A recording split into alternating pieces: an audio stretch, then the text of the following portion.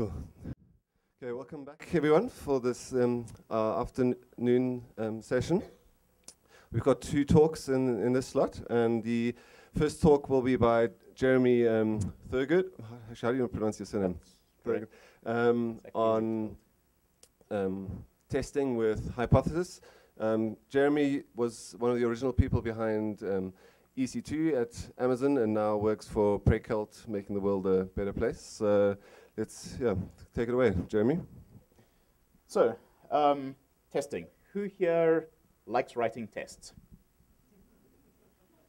That's more than I expected. Um, who here likes working on software that isn't tested? Okay, so one person. Um, I won't hire you. Uh, so, this is a talk about property-based testing. Um, what is it? Why do we care? How will it make your software better? Well, let's start with an example of a thing that we want to test. This is a very simple data structure. Did my audio go away? No? Something? I don't know. Um, it's a naive priority queue. It says so right in the class name. It's an implementation that fits on a slide. Don't ever use it in production. It is very slow because it sorts its entire set of um, objects every time. But it's got a simple but non-trivial interface which is um, makes it a reasonable example to test. And maybe you do want to implement a much better version which is higher performance and doesn't sort itself every time. So how we usually write tests. You've got your implementation. You write a bunch of tests. Each test creates a queue, puts some stuff in it, takes some stuff out of it, makes sure that what you get out is the right kind of thing. And there are lots of tests, and they're not nearly enough because I got bored and did something more interesting, like fighting CSS to make my presentation stuff work. Um, oh, a warning, there's going to be a lot of code in these slides. There will be a test afterwards. You're expected to remember all of it. Um, pretty much everything I'm talking about, uh, all the stuff I'm talking about and whatever is going to, uh, all the syntax and stuff is in the hypothesis documentation. So don't worry too much about the, the details of the um, slides. It's just kind of example stuff for me to talk around. So yeah, these are example-based tests because you have some example input and some example output, and you are making assertions that your code gives you the right output for the input you give it. They are tedious to write. Um, I get very bored writing those tests, and then I write tests badly because I forget what tests I'm writing, and I end up writing tests for the wrong software or something. Lots of repetition. You're writing the same test over and over again, just with different input and output. And those differences are important because you're testing on each side of a boundary condition or something like that. You need all of those different examples, but structurally they're very similar. Um, painful to maintain. A lot of those tests dig around in the internal details of your code because you want your test to test one thing, not 17 things. So if you're testing putting something into your queue, you need to look inside the queue to see if it's there. If you're testing taking something out, you want to put it in the queue manually and then check that you get it out. Otherwise, you're testing two things in the same test. And when I was coming up with that example, I changed the order of how things are stored, and then I had to go back and fix all my tests which were broken because all my examples had the wrong order of the internal data in the assertions.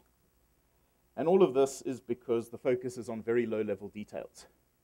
You're saying, I have this stuff, I give it to my code, I get this other stuff back, or it changes the world in some way, and I make sure that the state of the world after running my code is what I expect it to be. Um, so lots of trees, but you can't really see the forest. But still, better than no test at all. At least your code is running and you can pick up syntax errors and find bugs for things that you're testing for.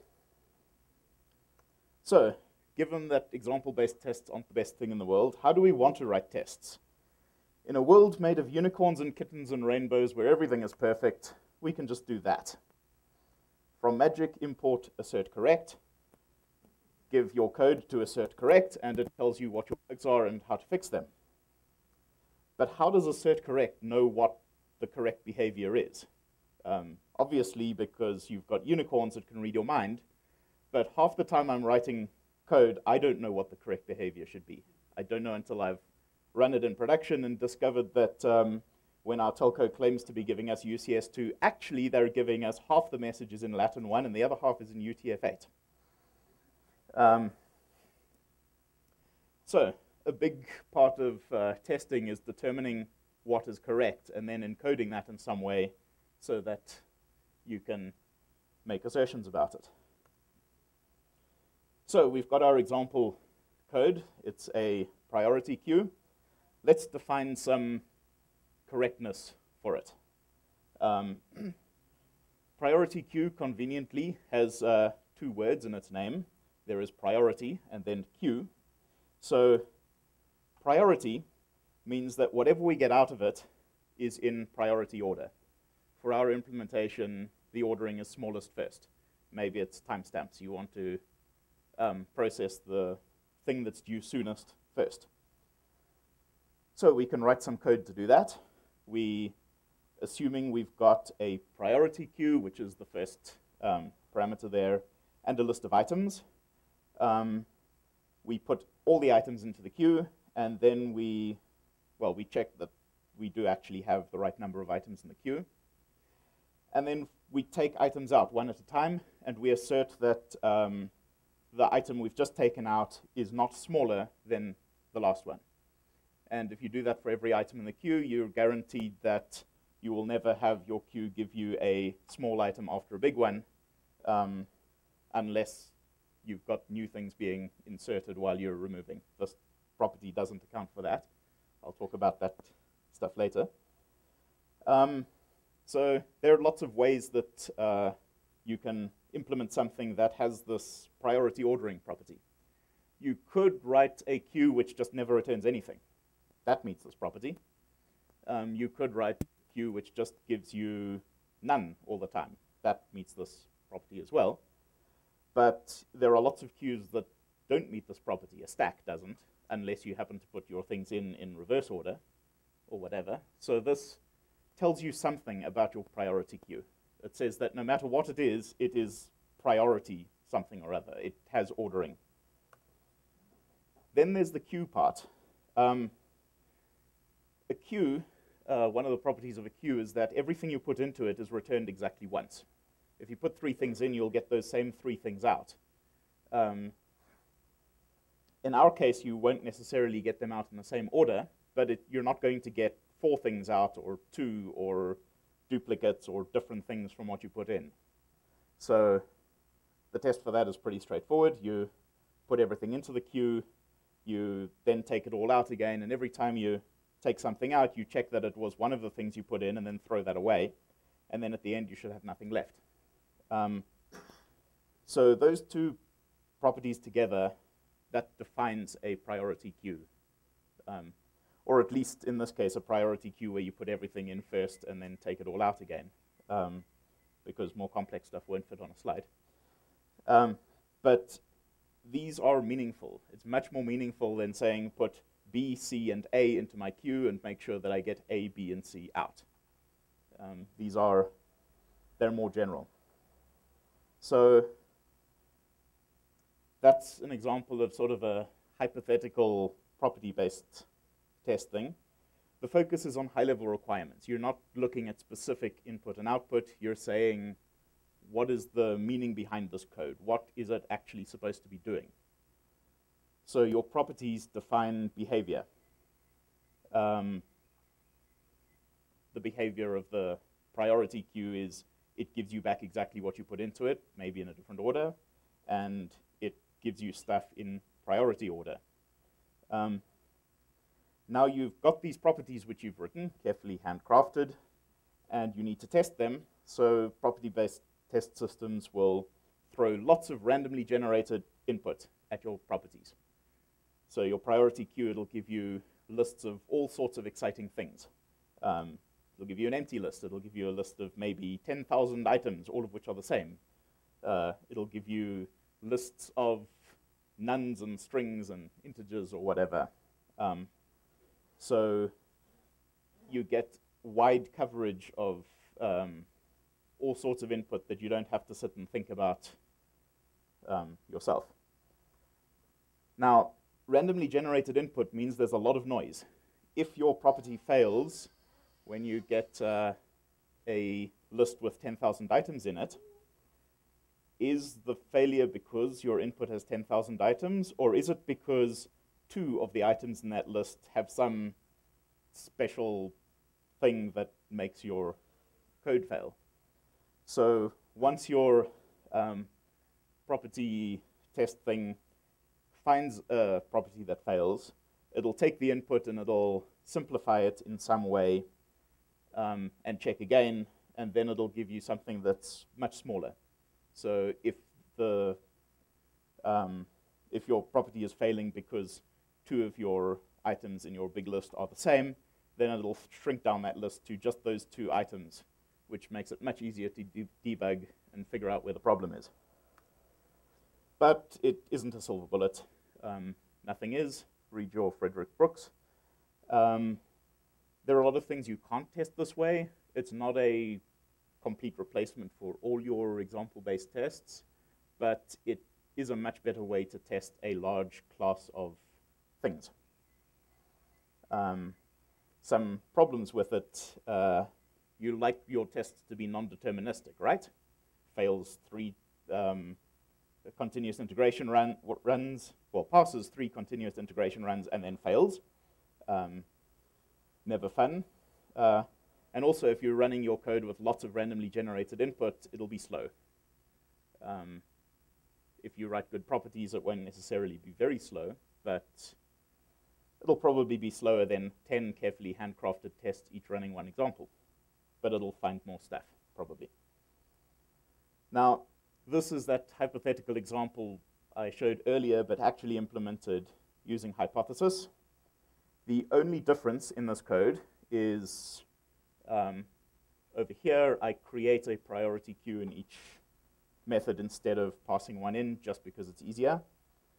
And this thing at the top is um, a decorator that comes from Hypothesis that tells um, Hypothesis how to generate suitable input.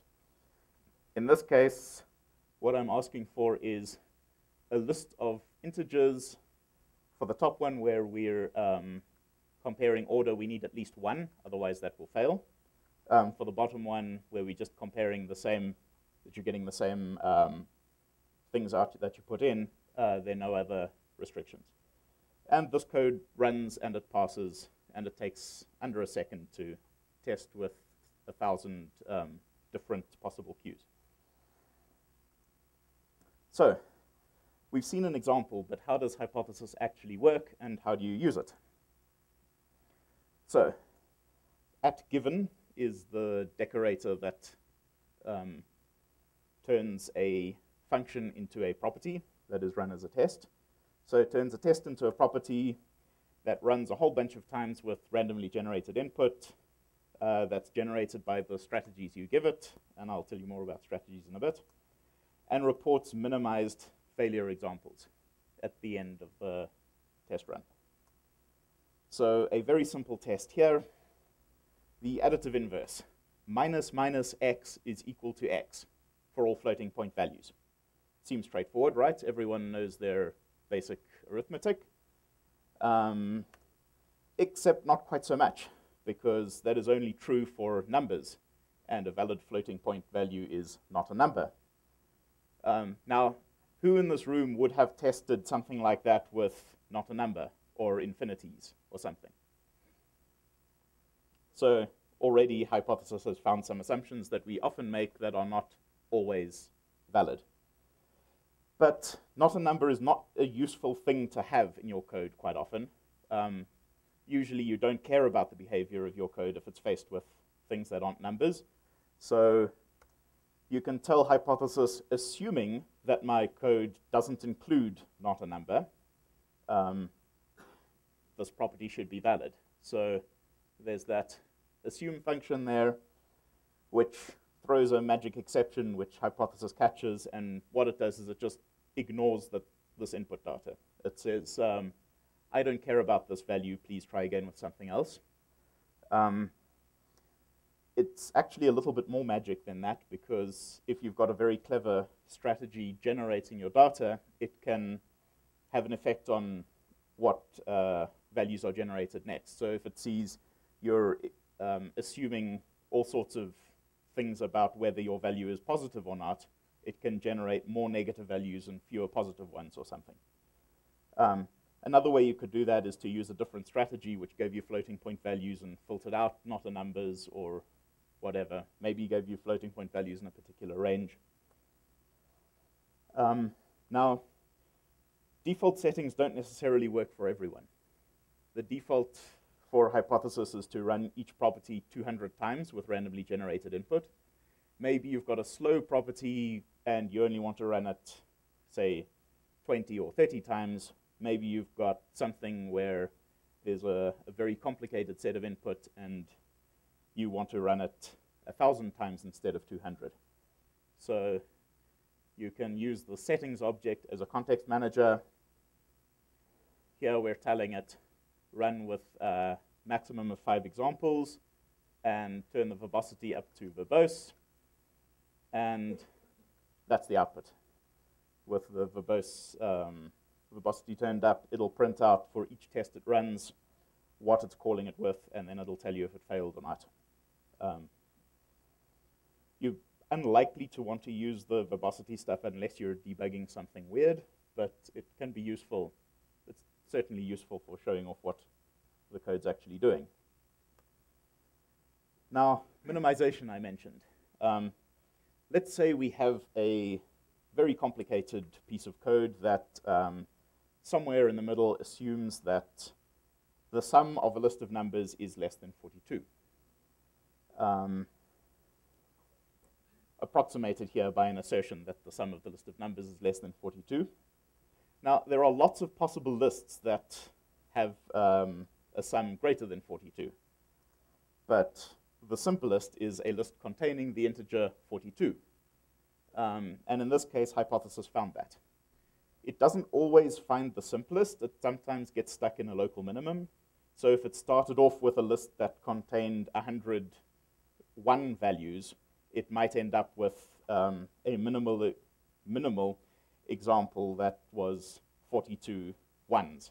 Um, but it's usually pretty good. And it also works for more complicated things. In this case, the assertion only runs for big lists, not small ones. So it, uh, it's a more complicated condition to achieve, but hypothesis still finds a list of three numbers, one of which is 42, the others are zeros, and that'll immediately tell you where to look. It finds the boundary of passing and failing. Not perfect, you sometimes get non-minimal data, especially if you have very complicated sets of input and stuff, but certainly much better than just getting a random list of a thousand items. Now, how do you generate data to put in? Because presumably your code is more interesting than mine, and you're not just uh, operating on a list of numbers and floating point values. So you use a strategy, which is a set of rules that knows how to generate values because that's what you're using it for. It knows how to simplify values. So for example, an integer is simplified by moving it closer to zero. A list is simplified by throwing out some elements a list of integers uses both things to simplify. So it'll try one and then the other and then swap back and forth until it finds your minimal thing. And it's composable, so you can use existing strategies as building blocks to come up with more interesting data. The built-in strategies are very clever so that yours don't have to be. Um, so you're, not, you're probably not going to be writing strategies from scratch. That's really hard. I've looked at the code, it terrifies me but you can build your strategies on top of the built-in ones.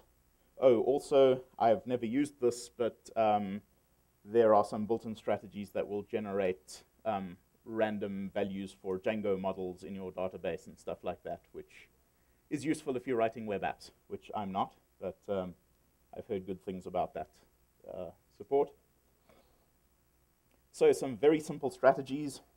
There's one that just returns a single value that you give it. Not particularly useful on its own, but it's good if you're combining it with other stuff. So you can take two different strategies and say, give me a thing from this one or that one. Uh, something to watch out for for this is that it chooses the strategy with uniform probability before it chooses any value from the strategy. So here, half of the values you get will be a string, and the other half will be none.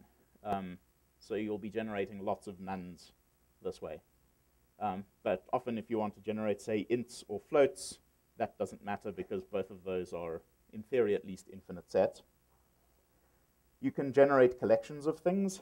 So here is a tuple of a small integer and a boolean. And you can modify the things that you're generating. So if you want to generate powers of 2, you start with um, an integer, and then you map that through a function which is 2 to the power of that integer you give it, and you get powers of 2. Um, a lot of this strategy generation is sort of functional style um, processing of values, uh, but it's really not hard to um, to do once you've uh, well once you've looked into it and played around a bit. More complicated things. So I want to give my code some square text, a block of text with um, n lines and n columns. Um, this uses flatmap, which is, what that does is um, you generate a, an example value, and then flatmap takes that and uses that to build another strategy, which it then generates your actual value from. Um, you don't need to understand this. This is all documented in the hypothesis docs. Um, but you can, from these very simple building blocks, this is what a five-line example, and you can generate a square block of text of any size, guaranteed square. Um, and you can also generate recursive data. So if you want a nested dictionary full of dictionaries and, in this case, strings and none, um, you can generate that as well. So you have all this data that you're generating, and you've got some complicated code. How do you come up with useful properties? What is a useful property? Firstly, it should be true for all input, or almost all input. Like you don't care about not a number, but you do care about anything else. If it's only true for half the possible input, then you either have to exclude half the possible input or um, write two strategies or something like that. Um, but generally, the useful properties are true for everything. They are general properties of your code, hence the name. Secondly, and very importantly, it doesn't duplicate the code under test. So if you are testing integer addition and your property says uh, my output is equal to the sum of my inputs, that's not testing your code, it's testing your ability to write the same code twice. Um, which might be a useful thing to test, but it's probably not a useful thing to have your continuous integration system run all the time. Also, it describes the code under test in a meaningful way. So back to the priority queue example, the two properties we had there are returns everything I put into it and nothing else, and um, returns things in a particular order. And those both say something about the code. They Together they define what it is to be a priority queue. Also, mustn't be too expensive to check. If your property takes um, a second to run and you're running three and a half thousand examples, that's an hour. Um, so try to make things that are easy to check. So good properties are harder to write than good example-based tests but you need far fewer of them to get the same, well, to get much better coverage of your um, code and input space. Um, and they're a lot more useful. They're useful as, well, they're more useful as documentation than example-based tests. You're looking at a test uh, suite to figure out how to use something, and the whole suite is full of, uh, I give this input, I get this output. That doesn't tell you very much. Um, so, some ways to, some things that you might use as properties. Idempotence. If you have an operation where um, if you apply it to the output, it doesn't change, like rounding a number, that's an easy thing to test a property for. Once you've rounded a number, it is round. If you try and round it again, it's not going to change at all, unless you've got a broken implementation of round, in which case you found a bug. Yay. Um, round trip. So if you're writing something that you're doing in two directions, say forward and reverse, like, for example, um, a JSON serializer. You can call the thing and get some output and then do the reverse and get some output again and make sure that what you get out of the forward and reverse thing is the same as what you put in. JSON is slightly tricky because um, that's not always true. If you give it uh, a tuple instead of a list, what you'll get out at the other end is a list because it serializes tuples and lists to the same JSON values. But it's good for a lot of, um, there are a lot of examples where this is a good thing to do. So invariance, you've got something that is true of both your input and your output. So shuffling a list of numbers. Shuffling shouldn't change anything in your list. It should change, just change the orders. So the, the same thing is true of your input and your output. Um, transformation is somewhat more complicated. Um, again, best described with an example. If you if your uh, code is transforming some text to uppercase, then text.upper plus some uppercase character is the equivalent of your input text plus the lowercase equivalent of that uppercase character, all uppercase.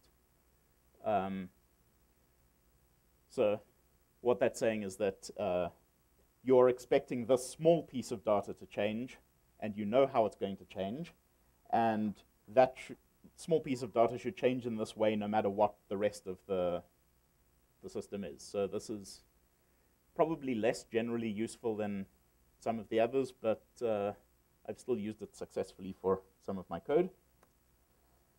Um, verification is probably the closest to a normal uh, unit testing. So there you're saying there is something that is always going to be true of my output. If you're writing some code that turns tabs into not tabs, then your output should never have tabs in it. Um, the checking that your priority queue gives you things in order is the same kind of verification. And then another one which is generally not uh, applicable but really useful when you can do it is a test oracle. You have this system which you know to be correct, and you're implementing another one which you don't know to be correct. Um, maybe this is some old implementation that you're rewriting because um, you need a different architecture to implement new features or something. Maybe you've got a simple implementation which um, uses an in-memory data store and your real implementation um, is distributed over uh, Brin's cluster of a million machines and needs to handle network partitions and stuff. Um, the functionality is the same, but one of them is a lot more complicated than the other. Um, so you can test the simple one, make sure that's correct, and then use that to test your less simple one. Now, what about testing things that have state in them? So back to the priority queue, you'll notice that the test we had previously, um, all they tested was you put a bunch of stuff in, you get a bunch of stuff out. They didn't test any interleaving of putting things in and taking things out. Here's our priority queue that we had um, previously. It's the same code. Here's a much better one, which is much bigger and more complicated and uses a binary heap to get um, order log n operations instead of order n.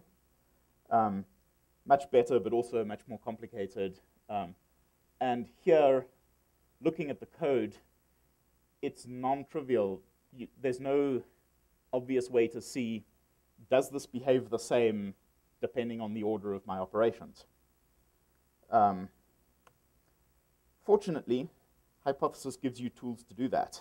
Um, the, well, one possible way to do it, and I've done this in other systems, is your strategy generates a list of operations, like put one, get, put two, put seven, get, get, get, oops, it's an empty queue, explode, um, and run that by hand. Um, Hypothesis has a state machine-based system that makes it easier to do that kind of thing. It handles a lot of the machinery for you. So what this does here is in the initialization, we create an empty queue, and then there are two rules. The first rule takes some random integer, so at rule replaces at um, given, and performs this operation. So here we put the the item that we've generated both in our priority queue and in the list of items that we already have. And then the uh, check for get is more complicated because we've got to get the um, minimum item from the items that we have in our sort of model of a queue, um, remove it from that, and make sure that that is the same as the whatever we get from our actual queue. now, I ran this on um, a the second last version of my uh, where is this? The second last version of that. Um, no. Okay, this yeah, the second last version of that, which had a bug in it. Not a bug that I deliberately um, introduced. It's one that Hypothesis found for me, um, which is that it was um, sorting my things in uh, maximum first instead of minimum first. So it had all the, the checks the wrong way around. And Hypothesis told me this is the minimized um, disclaimer, not necessarily minimal. Um, it's really hard to minimize something like this, but it generally does pretty well. It's usually fairly close to minimal.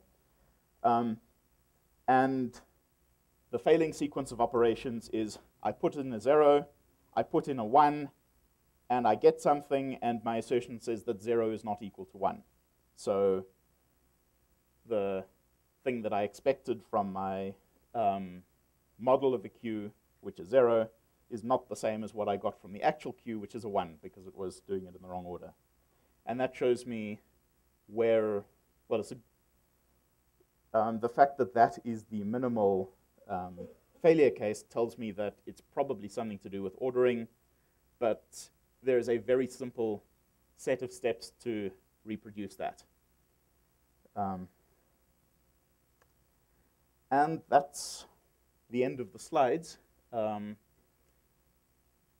there's a lot more stuff uh, in Hypothesis, but the docs are, are pretty good. And I've got a couple of things that I can show off live demos if people want, or you can ask me questions. Okay, thanks, Jeremy. Let's see if there's any questions first. Um, um, sorry, a second mic. So, um, do you mind being the volunteer to hand out the mic? Just make sure it's on.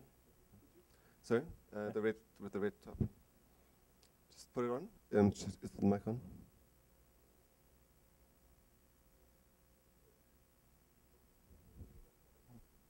Okay. Hello. Um, so Jeremy, how? I don't think it's Sorry? working. Is it is it working? Yeah, we could just speak a little bit louder. Hello. So, um, how would you use something like Hypothesis to test a state machine? Just sorry, can you bring the mic a little closer to you? How would you use Hypothesis to test a state machine? Because that's the first question that popped in mind when you said stateful testing. Because in, in the state machine, there's uh, transitions which are invalid. And so you would need to let it know that these are ones that you want to fail and these are ones that you want to succeed. So basically like this. Um, the idea is that each of these rules is an operation, and um, uh, the way I write these things is you have, at the beginning, you've got a, a precondition. So before you can perform this operation, well, let's do it for get.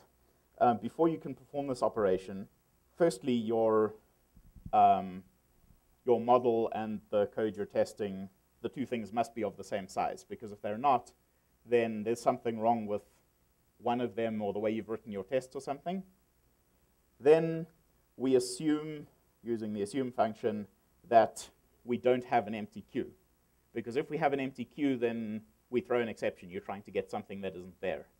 Um, depending on what you're wanting to do with this queue, maybe you block instead of throwing an exception or something.